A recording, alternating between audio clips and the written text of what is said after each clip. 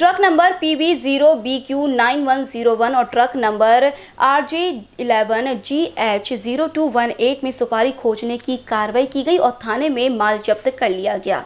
मिली जानकारी के अनुसार ट्रक में सुपारी लदी थी और सड़क पर truck number P V zero two B Q nine one zero one और truck number R J eleven G H zero two one eight को दवाला मेठी लावा रोड पर पार्क किया गया था। डीसीपी लोहित मतानी को जैसे ही गुप्त सूचना मिली, उनकी टीम मौके पर पहुँच गई। उन्होंने वाड़ी उपनिरीक्षक पुलिस साजिद अहमद को निर्देश दिया। यह दूसरी बार है जब उसी गोदाम पर यह कार्रवाई की गई है जिससे खाद्य सुरक्षा अधिकारियों के प्रदर्शन पर सवाल खड़े किए गए हैं। ट्रक नंबर एक R J one G B zero two one eight, दूसरा P B zero two B Q nine one zero one को राज्य से बाहर जाने की तैयारी करते देखा गया।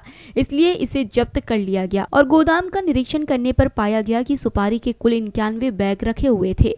उल्लेखित मालिक अभिजीत येरपुड़े, रा सीताबड़ी नागपुर से सुपारी के बिल के बारे में पूछा गया तो उन्होंने कहा कि उन्हें कोई जानकारी नहीं है।